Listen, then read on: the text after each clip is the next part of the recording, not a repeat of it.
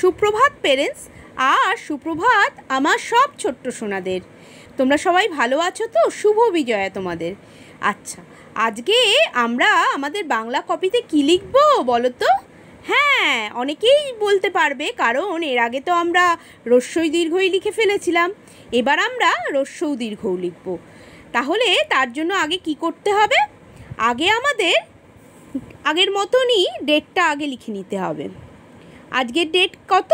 যেদিন কাজটা দেওয়া হয়েছে, উনতিরিশ দশ দু হাজার একুশ। লিখে ফেলবে তোমরা। আর নিচে ডে লিখবে। আজকে হলো ফ্রাইডে তাহলে ফ্রাইডেটাও এরমভাবে লিখে নেবে। এরপর তোমরা স্কেল দিয়ে চার ভাগে ভাগ করবে আমাদের বাংলা কপিটাকে যদি তোমরা নিজেরা না পারো, তাহলে কিন্তু মা বা বাবাকে বলবে তোমাদের সাহায্য করতে বা হেল্প করতে। প্রথমে মা বা বাবা কেউ রস্যটা তোমাদের লিখে দেবেন প্রথম লাইনে। তারপরে এইভাবে ডট দিয়ে দেবেন যাতে তোমরা সঠিক জায়গায় প্র্যাকটিস করতে পারো। তো তোমরা যদি নিজেরাই পারো, তাহলে নিজেরাই হেডিং করে নেবে রস্যৌ। আমি তো জানি, তোমরা তো বোধোদয় বইয়ে আগে প্র্যাকটিস করেছ, তো তোমরা নিশ্চয়ই পারবে।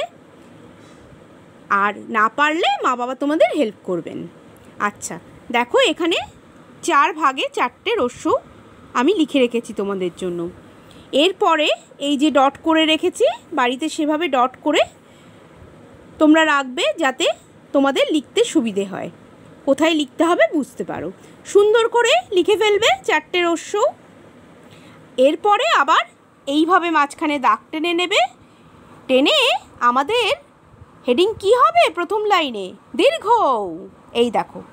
এক, দুই, তিন, চার, চারটে দীর্ঘও আমি লিখে রেখেছি তোমাদের জন্য।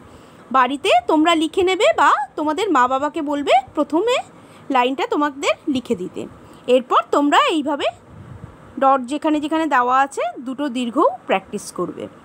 তাহলে আমাদের আজকের লেখা হলো কপিতে রস্যৌ আর দীর্ঘও। খুব ভালো করে বাড়িতে লিখে ফেলো।